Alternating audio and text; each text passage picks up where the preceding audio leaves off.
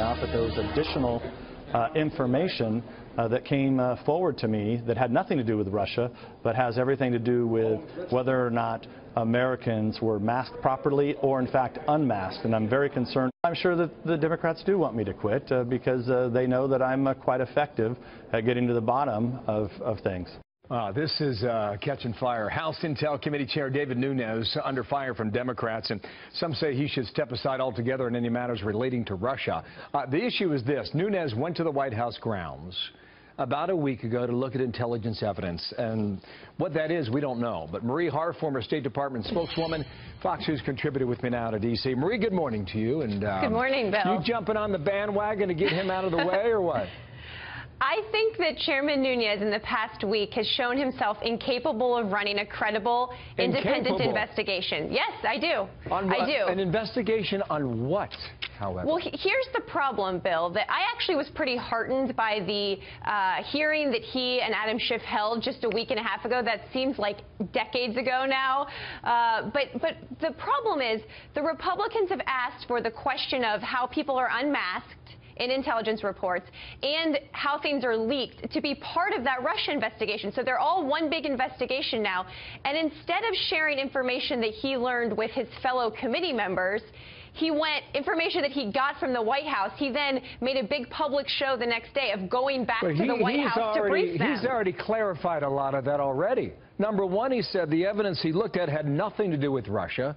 He told O'Reilly that last night. The other thing he said is they have to go to the executive branch one or two times a week to look at intelligence because they can't get the documents up to the House.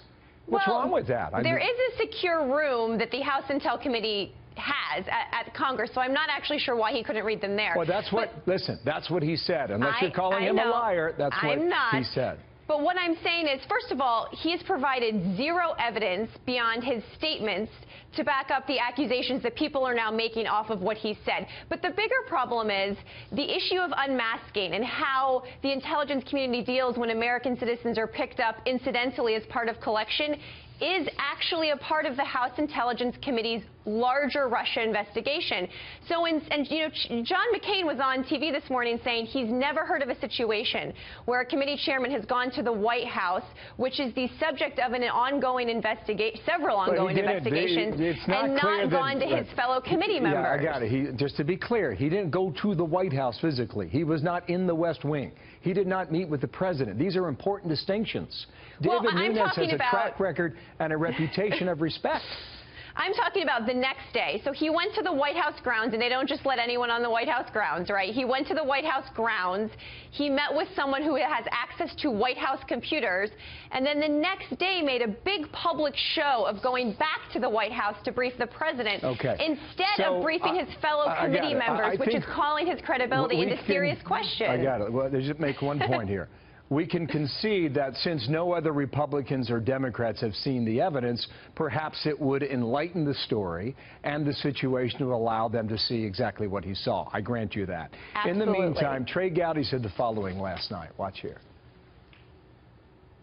I wish Senator Schumer and some of the other Democrats would be more interested in the authenticity and the reliability of the underlying data and not the means by which it was acquired. Whether it's the White House or Waffle House, what difference does it make if the information is reliable and authentic? Yeah, what difference at this point does it make, Marie?